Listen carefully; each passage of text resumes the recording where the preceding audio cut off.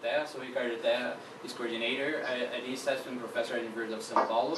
And we asked Ricardo Terra just to mention for us what is the experience like at, uh, as an M MPH there at Harvard School of Public Health because sometimes we do not know the opportunities we have when you go abroad.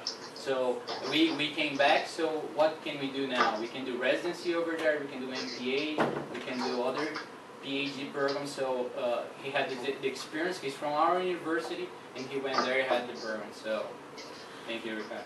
Well, thank you so much for the invitation. I think that being here is uh, an honor for me because I was a graduate, uh, an undergrad student some years ago.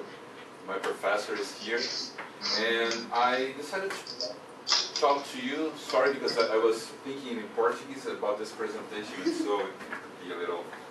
But uh, I was thinking about telling you my story. It's not a sad story. It's not a separation story, but I think that it shows you why I decided to go to uh, Harvard School of Public Health and maybe uh, how it interfered in my uh, view of the world and, and in my knowledge. Well, um, I'm from São Paulo. My father is a professor of biochemistry. He's a renowned uh, researcher. He, he does a basic research. And my uncle is a doctor. He is a professor at the pneumology department. And when I finished my uh, high school, I was in doubt if I was going to something related to uh, research because it was very strong for me, this research thing, because of my father, or go to medical school. And then eventually I decided to go to medical school and I learned that I could do uh, research and being a doctor at the same time uh, since I was uh, working in an academic hospital or something like that. And then I, I started uh, medical school at University of São Paulo in, 19, in 1994. And when I was there, I started to do a lot of small projects, scientific projects. I worked like iniciação científica. I think that most of you, you, you must have done this. And, and then I, it was a very nice experience because I could work with very different things from pathology to plastic surgery. And then I, I decided that I I was enjoying doing clinical research. That, that was at the end of the of my um, medical uh, school, and when I finished the medical school, I decided that I wasn't exactly like a, a, a basic research guy. I, I, preferred to work with people and to work with patients, and and and that was my. Uh, what I, I prefer to do as, as, as, a researcher. When I started the residency at uh, Hospital das Clínicas, it was uh, very difficult to do something else. You see that it's a very uh, difficult time and you'll be very busy uh, thinking about clinical things and about your residency, night shifts and so on. But when I finished the residency, that, that was a very important moment. Um, I think now, looking back, that it would be a very good moment to, for instance, go abroad. I couldn't do that at that very time because my mother was very sick at that moment. She had multiple sclerosis and, and, and I, I couldn't really go abroad and then I decided to stay at uh, University of São Paulo and I was eventually hired as a um, medical staff at the thoracic surgery uh, division. And I was very lucky at that moment because uh, we are divided in groups, and, and the pleural diseases group was like uh, the, the former professor was gone, and nobody was really taking care of it, and my boss said it, that I should take care of it, and I had the opportunity to, even being very young, to take care of this group and not only from a clinical perspective but also as a researcher and I started doing my PhD at that moment in pleural diseases. Well, I finished my PhD in 2008. But when I finished my PhD, I was working with clinical research, and that was what I decided that I should do. Um, I felt that I wasn't really uh, mastering clinical research from a scientific perspective, even though I had finished my uh, PhD program, and, and then I decided to look for other alternatives, and I was very lucky to learn about a program, a long distance uh, learning program from Harvard Medical School, and Felipe, probably you know him.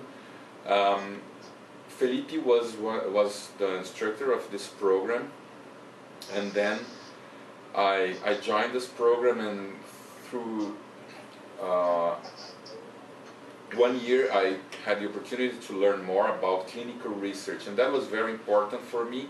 I I was more acquainted with the um, design of studies and so on, but I also was uh, learning more about opportunities abroad. And then I noticed that there, talking to other people and learning more about science and, and, and, and clinical research, that uh, it's not only the scientific point. You have to learn more about management, about economy, about how to use resources. And then I decided that I should do something else. And talking to some of the faculties that I had the opportunity to meet here in Brazil when they came to uh, part of this program, uh, I learned about the uh, MPH program at Harvard School of Public Health. And I, at the first I must confess that I was a little um, concerned about it because as a surgeon, I, I thought that, you know, uh, public health was something related to in Portuguese, we have the word médicos sanitaristas. I think that was something related to vaccines, and surgeons don't like vaccines, you know. yeah, and I learned that it wasn't like that. Actually, we I was going to learn more about epidemiology and biostats and and even management, ethics, and so on.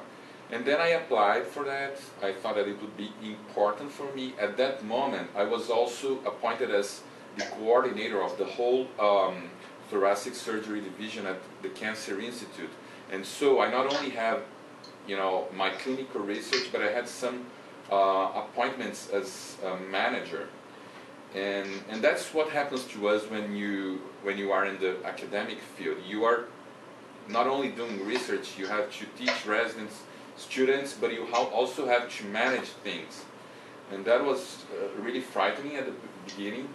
And I felt that I should do something else to learn. And, and I think that at HSPH, during uh, my master, I had the opportunity to learn more about clinical research, once again, because I had epidemiology, biostats, uh, but I also had ethics, um, management of healthcare organizations, uh, health economy, um, and many um, uh, decision making. That was a very important course. All of these courses were very important for uh, building um, my knowledge, but also, and probably most importantly, um, to allow me to do better the job that I'm doing now, and, and as a coordinator and as, as a clinical researcher. And so I think that one important thing that I've learned there, when I'm a surgeon, I'm taking care of only one patient, and the impact of this is important for that one patient. But uh, I I learned to uh, think big. You know, I, I learned to um, make things that will cause more impact in the society and, and I think that that's uh, that was really uh, life changing for me and, and that's the HSPH experience I had and a bonus of this uh, HSPH experience was the opportunity to, to get to know um, the Lemann Foundation.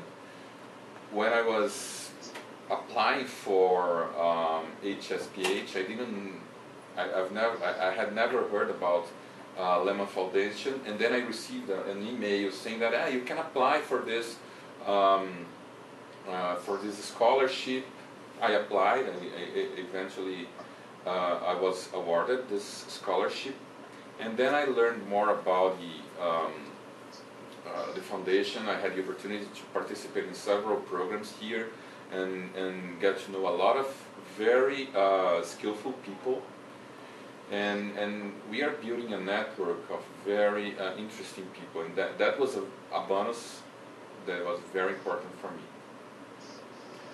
And I think that if I have something to say to you, I, I think it's very important to to go abroad, to uh, you know broaden your perspectives about the world. We have here in Brazil, we are very close in, in ourselves. I think that's not a very good thing. And when you go abroad, you have the opportunity to learn several other perspectives, and and to learn to think big. I think that's the the final message. So before uh, Paulo Saldiva starts, uh, could you just uh, give a little bit of uh, this idea of what is the difference between making a P MPH over there and doing a PhD program or a master here? This Sure. is something that people. Sure, that, that's, uh, that's a very good question, thank you for that. And the MPH program is something that we don't have here in Brazil. And so um, it- it's a very different um, thing for us.